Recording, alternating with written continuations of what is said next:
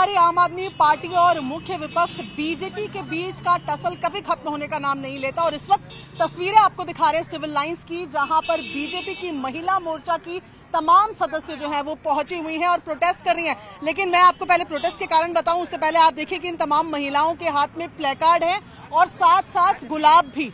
गुलाब भी लेकर आए हैं, प्लेकार्ड भी लेकर आए हैं। प्लेकार्ड में लिखा है, कुंठित मानसिकता से बाहर आओ, केजरीवाल जी, दूसरे में लिखा है get well soon, Kejriwal ji. ये महिला मोर्चा है जो यहाँ पर पहुँची है। महिलाओं से बात करेंगे। इससे पहले एक बार आपको सिक्योरिटी अरेंजमेंट दिखा दो। देखिए, तमाम पुलिसकर्मी यहाँ पर मौजूद है इस पूरी रोड को, जहाँ पर ये प्रदर्शन चल रहा है। इस भी बात करते हैं। प्रियल जी हमारे साथ है वाइस प्रेसिडेंट है महिला मोर्चा की। क्या कारण है इस प्रोटेस्ट का? क्यों गेट वेल सून? जी देखिए, हम इतने गए बीते समय से गए बीते समय से जितने भी धरने प्रदर्शन करते हुए चले आ रहे हैं और हम सब जानते हैं कि दिल्ली में क्या स्थिति है। रियलिटी में ग्राउंड लेवल पे हो क्या रहा है? अगर आप शराब घोटाले के मुद्दे से लेकर के आप चाहे लिकर पॉलिसी पे चले जाइए, अभी लेटेस्ट जो कि शीश महल का एपिसोड रहा है और पूरा देश क्या पूरी दुनिया इससे वाकिफ हो चुकी है कि कितनी कोई संवेदना दूर दूर तक देखने के लिए नहीं मिली। वहाँ पे केजरीवाल जी अपने घर का, अपने घर के रेनोवेशन के लिए फंड साइन कर रहे थे। ये कहा की नैतिकता हुई। आप आम आदमी के बल पर आए थे, आपने आम आदमी की क्या चिंता करी? आपने कहीं कुछ सोचा?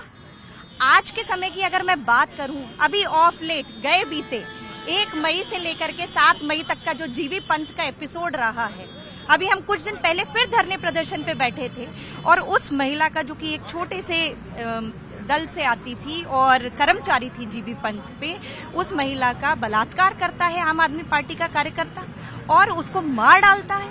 मतलब कहने में भी रूह कांपती है कहीं ना कहीं उस एपिसोड को सोच करके निर्भया कांड याद आता है।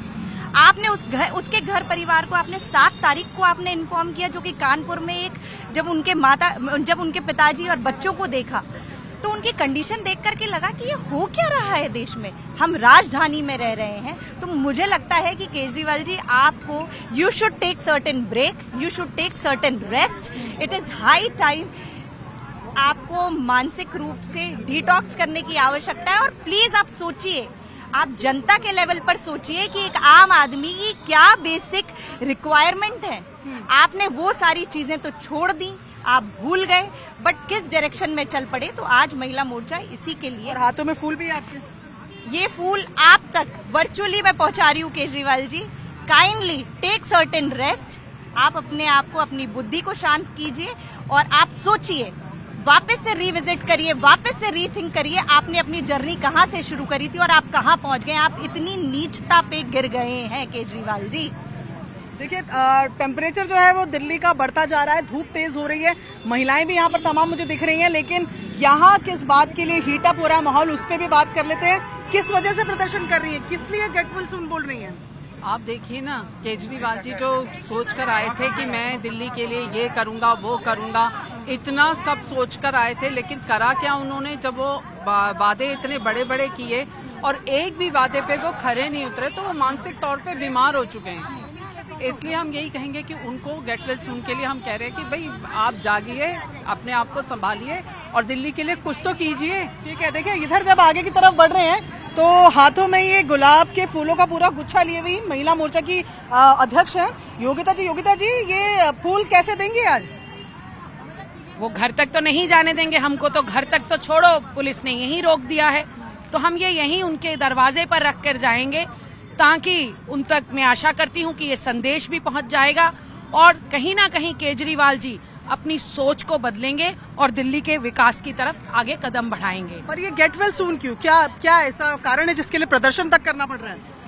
देखिए आप पूरे कार्यकाल को याद करिए केजरीवाल जी के। उस प्रदर्शन को भी याद करिए जब वो की कहते थे कि हमको सरकार बनाने का मौका दीजिए हम भ्रष्टाचार नहीं करेंगे। उस वक्त को याद करिए तो आपको आज तक की सारी पिक्चर क्लियर हो जाएगी। केजरीवाल जी ने कहा, केजरीवाल जी वैगनार में चलते थे। मैं ये नहीं कह रही कि वो सरकारी गाड़ी में ना चलें।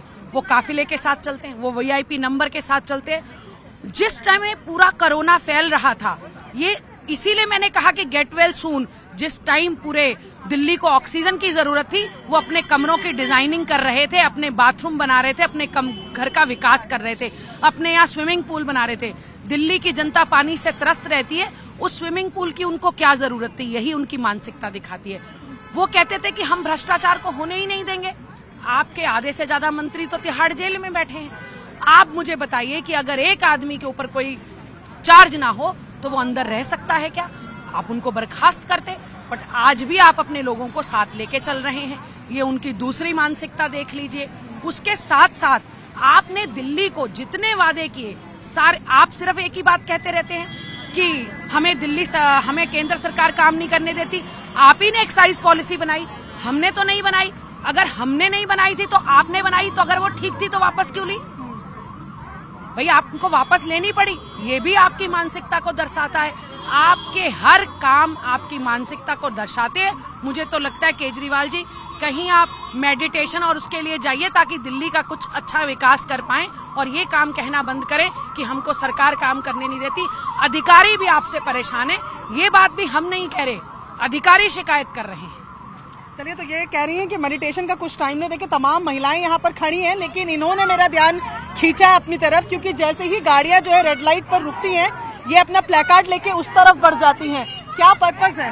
पर्पज ये है कि वहाँ के लोगों को, क्योंकि पुलिस ने हम लोग की बैरिकेड कर दी है तो देख नहीं पा रहे कि क्या हो रहा है। हम लोग की हाइट उस लेवल पे नहीं है। तो कम से कम कुछ लोगों को तो पता चले कि क्या वजह है। सब लोगों को पता चले कि हम लोग क्या कर रहे हैं जिससे लोगों का ध्यान आकर्षित करके उनका सहयोग ले पाए। सब लोग दुखी हैं। अकेले हम लोग तो पार्टी के हैं लेकिन जनता भी बहुत दुखी है। इन्होंने जिस तरीके से कोरोना टाइम पे जिस टाइम पे कि कंस्ट्रक्शन मना था सबको इन्होंने खुद बैन करा रखा था अपना नियम अपने लिए तोड़ रहे थे। कितनी ज़्यादा इनके मन में अराजकता है और डिक्टेटरशिप है। ये इससे ज़ाहिर होता है। ऐसे डिक्टेटर का एक डेमोक्रेटिक स्टेट में रूल करना खतरे से खाली नहीं है। अभी आपको पता होगा, पंजाब में एक जो रिपोर्टर थी, उसको इसलिए जेल भिजवा दी इन्होंने, क्योंकि वो इनके शीश महल की पोल खोल रही थी। जिस, जो इस तरह की डिक्टेटरशिप है, ये बहुत खतरनाक है देश के लिए, हमारे स्ट्रक्चर के लिए। ये तो एक बात है। उसके अलावा जिस टाइम पे मेडिकल इमरजेंसी का इन्होंने सर्टिफिकेट बनवा के अपना फर्नीचर इटली से मंगवाया, उस टाइम पे क्या ये गैस नहीं दे सकते थे? गरीबों के लिए ऑक्सीजन नहीं दे सकते थे? हाय हाय, मचा रहे थे। यहाँ पे दिल्ली में त्राही माम मची हुई थी। इन्होंने कुछ नहीं किया। उस पैसे से इनको जनता की मदद करनी थी और ये अपना पेट भरने में, अपना शीश महल बनाने में लगे थे। इतने स्वार्थी, इतने संवेदनहीन मुख्यमंत्री का होना दिल्ली के लिए दुर्भाग्य है, जनता को पता होना चाहिए ये बात। चलिए तो ये तमाम महिला मोर्चा की सदस्य जो यहाँ पर पहुंचकर प्रदर्शन कर रही है, पुलिस ने इन्हें एक घेरे में अगर कहूँ तो यहाँ पर फ़िलहाल रोका हुआ है, बैरिकेड करके। ये रास्ता, ये माइनर इनकन्वीनियंस रहे इसकी कोशिश पुलिस की तरफ़ से, क्योंकि मेन रास्ता खुला हुआ है, ऐसे में इस रास्ते को कटेल ऑफ़ कर दिया है। यहाँ तमाम महिलाओं से बातचीत की, उन्होंने बोला कि कुंठित मानसिकता के शिकार हैं। सीएम, ऐसे में वो कुछ समय लें, ब्रेक लें और मेडिटेशन करें। ये तमाम महिलाएँ इस चीज़ की मांग कर रही हैं। लगातार हम प्रदर्शन बीजेपी की तरफ़ से देखते आ रहे हैं और आज दिल्ली बीजेपी की महिला मोर्चा सिविल लाइंस में भी प्रदर्शन करती दिख रही है।